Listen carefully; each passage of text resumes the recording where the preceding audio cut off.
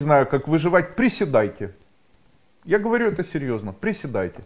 Есть очень хорошее видео о женщине. Она когда-то по совету моему, на моем марафоне, я советовал. Женщина говорит, меня никто не любит, я сама во всем виновата, у меня панические атаки и так далее. Я говорю, дайте мне обед, что вы будете приседать каждый день по сто раз. Она говорит, Андрей Андреевич, я раз не могу присесть. Я тогда ей сказал, приседайте один год каждый день по сто раз.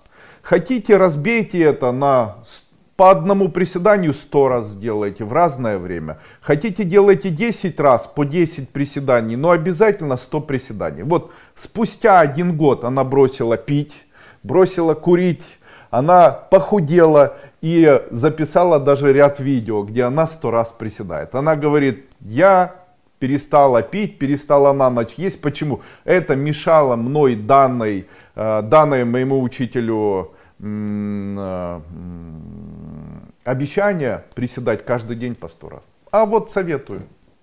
Хотите бросить пить, хотите бросить курить, хотите что-либо, чтобы в жизни изменялось, используйте мой метод. Он звучит так. Приседайте сто раз в день. Это изменит вашу судьбу. Я говорю это сто процентов, несмотря ни на что.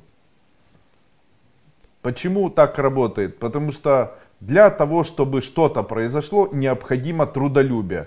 Если душа не срабатывает, если дух не срабатывает, если сознание не срабатывает, то через тело это можно сделать.